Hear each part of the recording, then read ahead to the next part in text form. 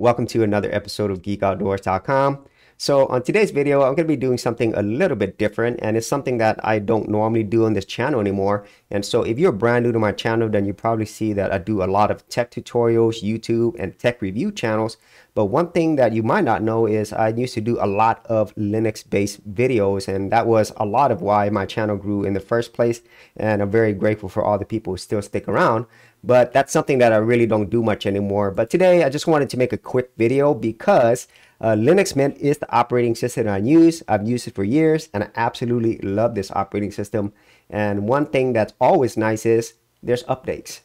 And so there's a brand new version of Linux Mint. It's Linux Mint 20.2 UMA and I'm currently using Linux Mint 20.1. So I'm going to go ahead and upgrade this and just quickly see what's changed and what hasn't. And it's not going to be anything in depth. It's just something that I'm really happy that we have. And I'm able to share that with, you know, any of the people who still uh, watch my channel from watching my Linux content that I did before. So let's go ahead and update this.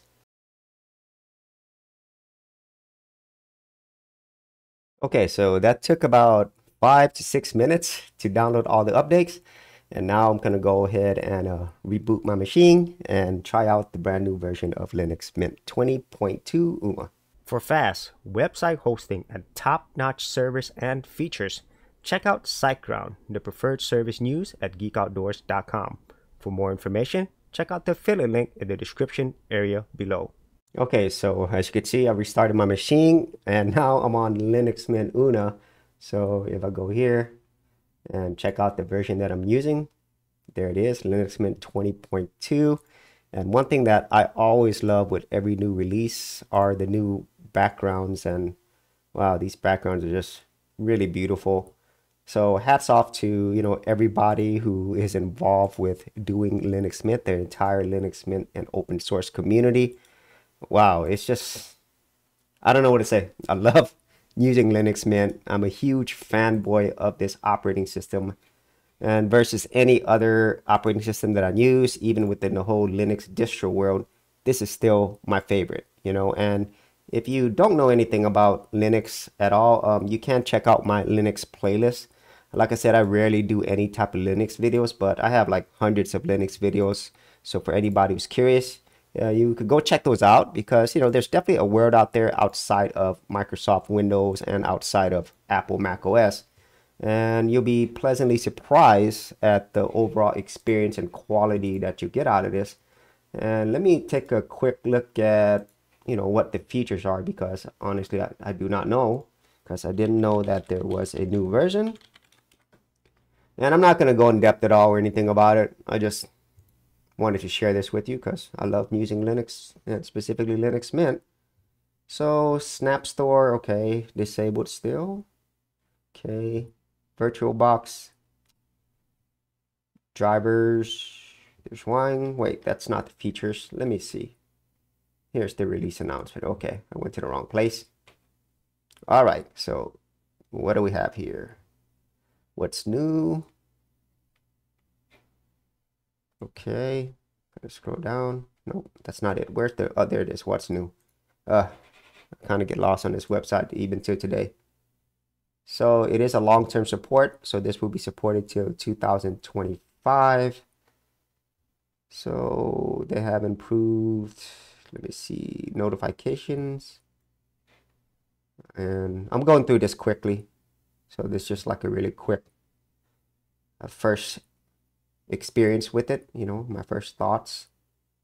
Update manager, okay, it handles Flatpak. So you could rename files in bulk. So sticky notes looks better for people who use those. That's great. So Warpinator, you can, okay, this is for network related stuff, which is great. If you have a network, you could transfer files a lot easier. Uh, uh, you could actually even install this on Android as well. That's great. Nemo has had some updates, the file manager.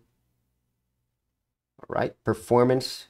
So Cinnamon, it is a resource hog. So if anybody who's familiar with Cinnamon versus XFCE and everything else, so the desktop environment. So that's great that it's going to utilize uh, less of your hardware, specifically RAM, it seems like. I do not know what this is. Spice updates. Okay. locking screen. All right. There's really not many dramatic changes. But this is the one thing that I absolutely love about Linux Mint. It's not about the big changes uh, that you can see. It's all the many big changes underneath. And so the reason why I absolutely love using Linux Mint, I've probably said that word so many times, is it's stable. Okay, it's stable and it works. And so it's definitely not the most cutting edge uh, Linux distribution out there.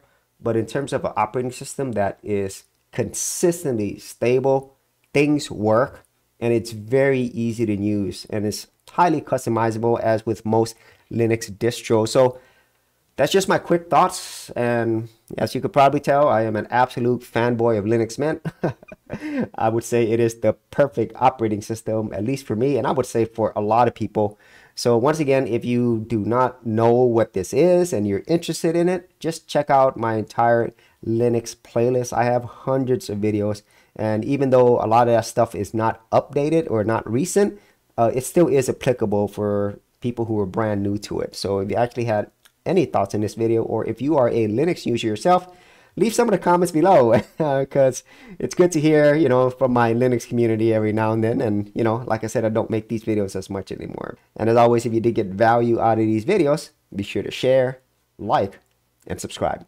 And if you're a creative geek like me, and you want to get exclusive access to more content that I don't put out here publicly on my YouTube channel, then join my Go Content Creators Group, where you're going to get content like this and more for all the creative geeks out there and the best part is, all of this is free.